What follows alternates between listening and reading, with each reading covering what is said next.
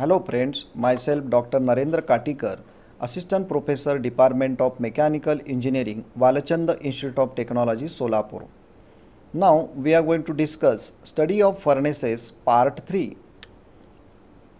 At the end of this lecture or the session, student will be able to understand the construction and working of cupola furnace. The discussion points are as follows Introduction Cupola furnace, zones of cupola furnace, operation of cupola, advantages, limitations, and applications of cupola furnace. You can see the first image on the screen. This is one of the type of cupola furnace. Basically, the furnace means to convert the solid metal into the liquid state itself. You can have one more look on the one of the type of cupola furnace. You can see how the molten metal can be taken out from the cupola furnace. These three images just I had shown you just to get the idea about the cupola furnace. A cupola furnace is a melting device used in foundries that can be used to melt cast iron, resist iron and some bronzes. For many years, the cupola was the primary method of melting used in iron foundries. The cupola furnace have several unique characteristics which are responsible for its widespread uses as a melting unit for cast iron. Cupola furnace is employed for melting scrap metal or pig iron for production of various cast irons. It is also used for production of nodular and malleable cast iron. It is available in good varying sizes also. This is the detailed construction of cupola furnace. You can read out the various parts being present for the cupola furnace. A big shell structure right from the particular footing rather the base to the spark arrestor. We are going to discuss the parts rather the sections of cupola furnace in detail. This is another image or the conceptual diagram which elaborates the particular parts of cupola furnace.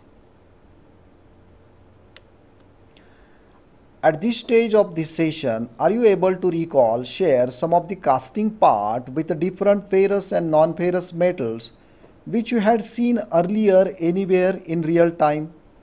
Just enlist few of them. Let us go with the zones of cupola furnace. Well, combustion zone, reducing zone, melting zone, preheating zone and stack zone. All these zones are positioned and shown in this diagram for cupola furnace. The well is at the bottommost side. Above the same combustion zone is there. Then reducing zone, melting zone and preheating zone while we are going from bottom to top side of the cupola. Let us go one by one. First one, well, the space between the bottom of the tuyeres and the sand bed inside the cylindrical shell of the cupola is called as well of the cupola.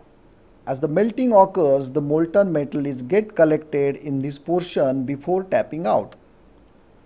Second is the combustion zone. The combustion zone of cupola is also called as oxidizing zone, located between the upper of the tuyeres and theoretical level above it. The total height of this zone is normally from 15 cm to 30 cm. The combustion actually take place in this zone by consuming the free oxygen completely from the air blast and generated tremendous amount of heat. The heat generated in this zone is sufficient enough to meet the requirement of other zone of cupola. The heat is further evolved also due to oxidation of silicon and manganese. A temperature is about 1540 degrees Celsius to 1870 degrees Celsius is achieved in this zone. Few exothermic reactions take place in this zone. These are represented as follows. Combination of carbon and oxide, carbon dioxide plus heat. Silica plus oxygen, silica oxide plus heat. Manganese plus oxygen, manganese oxide plus heat.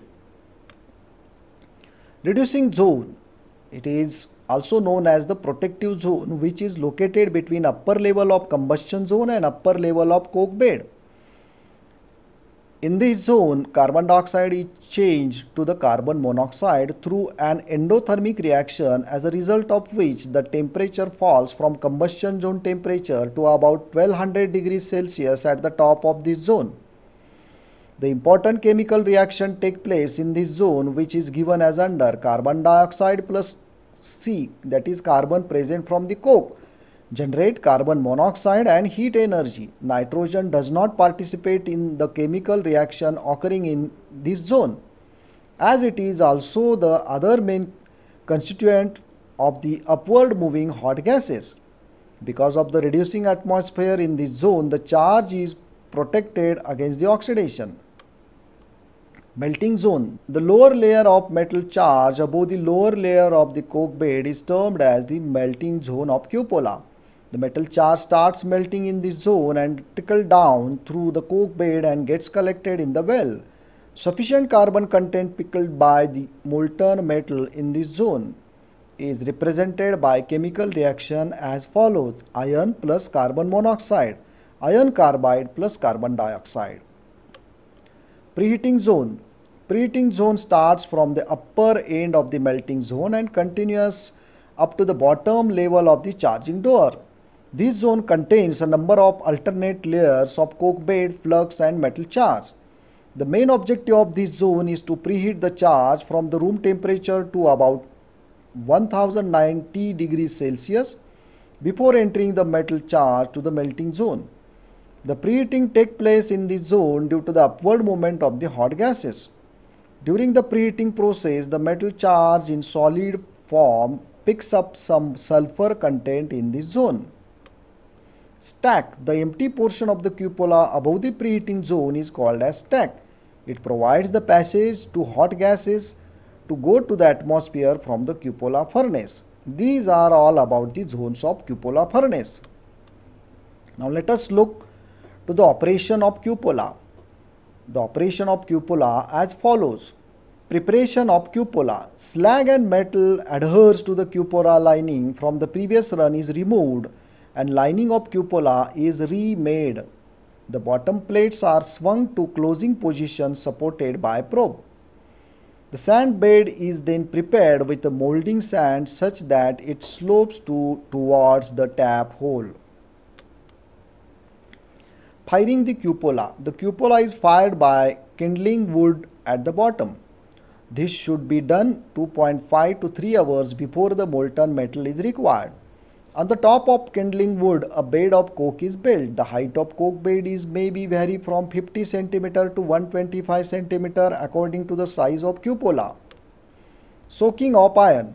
When the furnace is charged fully, it is maintained for about 45 minutes.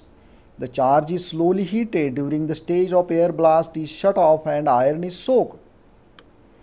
Opening of blast air. At the end of soaking period, the air blast is opened. The tapping hole is closed by a plug. When the melting proceeds and molten metal is collected at the bottom. Pouring of molten metal. When the sufficient amount of metal has collected in the heart of the slag hole is opened and the slag is removed. Then tapping hole is opened and the molten metal is flows out in the table. The same procedure is repeated until the charge is melted and the operation is over. Closing of cupola. When the operation is over, the air blast is shut off. The bottom of furnace is opened by removing the prop. Advantages of cupola furnace. It is a simple and economical to operate, can refine the metal charge, removing impurities out of slag. Cupola is capable of accepting a wide range of material without reducing melt quality, dirty. Only scrap can be melted as well as a wide range of steel and iron. They therefore play an important role in metal recycling industry. Cupolas are more efficient and less harmful to the environment than electric furnace because they derive energy directly from coke rather than from electricity that first has to be generated. The continuous rather than batch process suits the demand of repetition foundry. The cupolas can be used to reuse foundry byproducts and to destroy other pollutants such as VOC from the core making area. High melt rate, ease of operation and efficiency of cupola varies from 30 to 50 percent. Adequate temperature control and chemical composition control is another advantage. It required less floor space area compared with the other furnaces. Some of the limitations since molten iron and coke are in contact each other, certain elements like silicon, manganese are lost and other like sulfurs are picked up. This changes final analysis of molten metal. Close temperature control is difficult to maintain for cupola furnace. Applications more widely used for melting practices for production of grey cast iron, nodular cast iron, malleable cast iron, alloy cast iron. It can be used for melting some copper based alloys in duplexing and triplexing operation for making steel malleable cast iron and ductile cast iron. Steel can be also prepared in cupola by employing duplexing and triplexing operation. Cupola furnace at last you can have a look for the particular image. References for this discussion are as follows. Thank you.